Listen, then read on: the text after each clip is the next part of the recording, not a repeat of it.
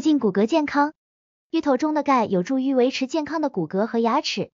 芋头作为食材中的一种，含有相当丰富的钙，每一百克熟芋头中约含有十六毫克的钙。虽然这可能不如某些奶制品或坚果中的钙含量高，但它仍然是一个有助于满足日常钙需求的来源。特别对于那些不喜欢或不能摄取乳制品的人来说，芋头是一个出色的选择。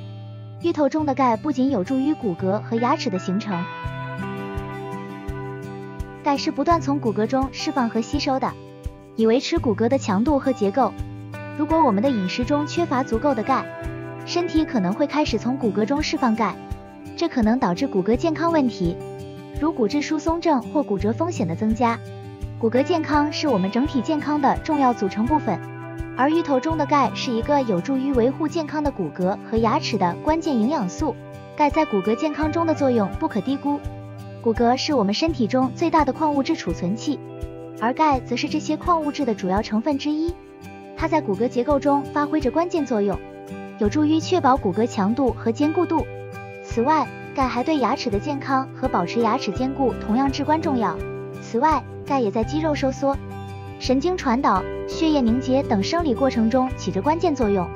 当我们的饮食中缺乏钙时，这些功能可能受到影响，导致肌肉抽搐、神经问题等问题。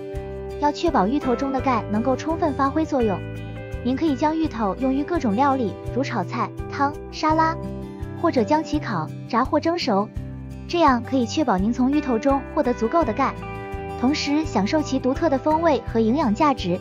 总之。芋头中的钙是维护骨骼和牙齿健康的重要来源之一。然而，我们应该谨记，芋头只是一个健康饮食中的一部分。古代智者相信，饮食是调整身体健康的关键。他们提倡饮食的均衡和多样性，以确保人体获得充足的营养物质。根据阴阳五行的理论，选择不同的食物可以平衡身体的能量，促进体内的阴阳平衡。除了饮食调养，古人重视通过全方位的养生方法和精神上的修身养性来提升免疫力的目标，将古代智慧的养生之道融入到现代现实生活中，活出健康自然美。